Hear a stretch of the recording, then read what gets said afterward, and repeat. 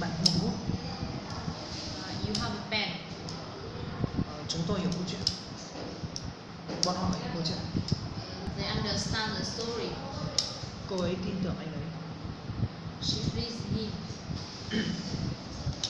tôi không muốn uống trà I don't want to drink tea. Nó không thích cá Uh, it doesn't prefer fish. chúng tôi không muốn đến Đà Lạt wish. Uh, we, we don't wish to travel to Đà Lạt. anh ấy không thích chơi có đâu He doesn't like badminton. Bạn muốn uống trà hay là uống cà phê do, you, do you want to drink tea or coffee? cô ấy tin tưởng anh ấy hay là không Does she believe in him or not? Bạn có một cái bút hay là một cuốn sách Do you have do you have a pen or book?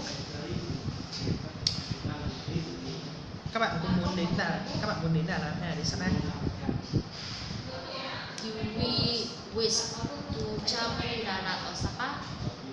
các bạn muốn đến Đà Lạt hay là Sa Pa Do you wish to travel Đà Lạt or Sapa? Hiểu câu chuyện hay là họ hiểu câu chuyện hay là không Do they understand the story or not?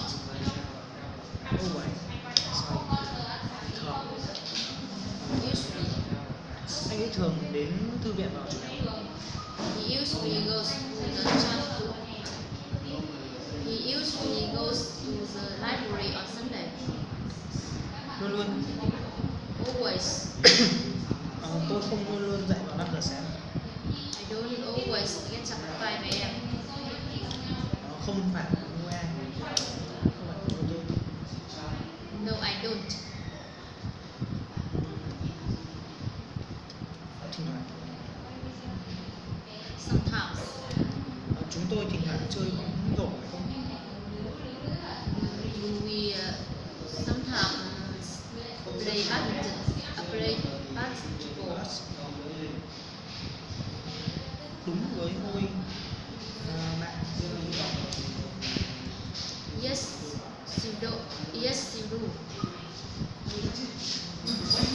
Không giờ Never. họ không bao giờ sáng They never have breakfast. không phải với to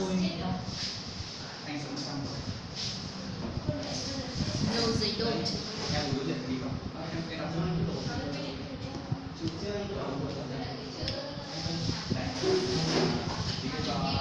bình thường Normally, bình thường trời không mưa